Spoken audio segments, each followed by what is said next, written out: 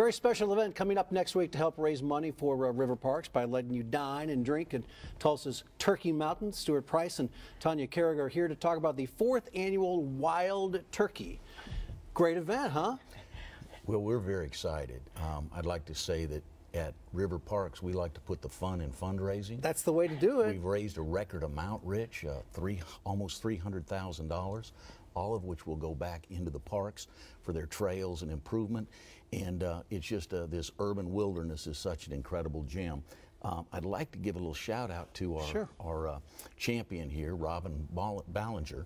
She was the fundraising chairman. She did a wonderful job. As She we- must have. As you know, as we set a record. But uh, you know, the one thing, if you believe that parks and playgrounds are the soul of a community, um, Turkey Mountain is one heck of a treasure. Yeah, and it's getting better all the time. T- Talk about the event itself because we were talking off camera. There's kind of some cool things y'all do. For this. Absolutely. I mean, Wild Turkey is a unique patron gala fundraiser.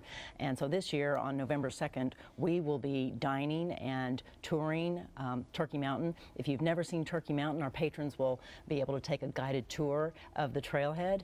They will be treated to Royal Gauntlet Birds of Prey. And uh, th- this is a group who brings falcons, owls, hawks out to the park. And uh, they'll just be walking around the park area while our patrons are enjoying the evening. That's going to be a really neat, neat event. And, and you've done it for four years. Do you really see the progress in the park since you started doing this fundraiser? Thank you for asking that question because what a treasure. Over 300,000 people use the park every year, 7,000 from out of state, and it's added $4 million to our local economy. But let me tell you about um, River Parks. We like to have fun, as I said. We're going to eat and drink at this party, outside campfires.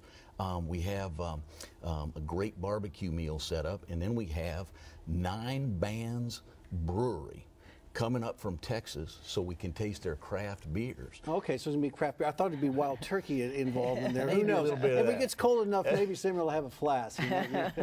Let, us uh, put up some information about it because you can still take part in this, right? You can still get involved, You right? Okay, so here it is. It's going to be Thursday, November 2nd from 6 p.m. until 10 p.m. at uh, Tulsa's uh, Turkey Mountain. And we do have a link for ticket information at newson6.com, and there's still time to get tickets uh, for that. But as you said, you've already at 300,000 this year, so congratulations. You're, did We're looking forward to it. It's going to be a great evening. Yeah, yeah. And if it's chilly out, just build a big fire. Franco. Great to see both of you. Thanks so much, Yeah, Rich. congratulations.